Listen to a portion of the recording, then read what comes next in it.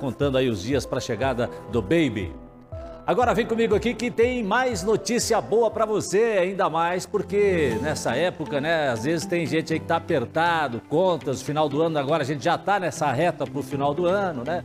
Mas que notícia boa é essa, Luciano Piquete? Conta pra gente. Boa tarde para você.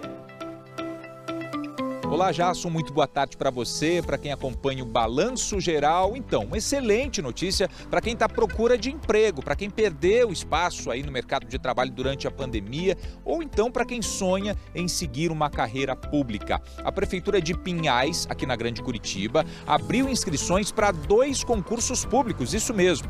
Em um deles, os servidores serão contratados pelo regime seletista, ou seja, baseado na CLT, que é a consolidação das leis do trabalho. No outro, a contratação será pelo regime estatutário. Há 42 vagas de nível fundamental incompleto a nível superior. Os salários variam de R$ 2.200 a 13 mil reais. Os editais você já encontra lá no site da Prefeitura de Pinhais, mas não dá para perder tempo não, viu? Porque as inscrições que devem ser feitas exclusivamente pela internet, o link está aí na sua tela, devem ser feitas até o dia 9 de agosto apenas. Então, tem que correr fazer a sua inscrição. Aí o valor da inscrição é a partir de 60 reais e há a possibilidade de isenção. Então tá aí, uma ótima notícia para quem está à procura de trabalho, para quem quer seguir uma carreira pública. Jason, eu volto com você.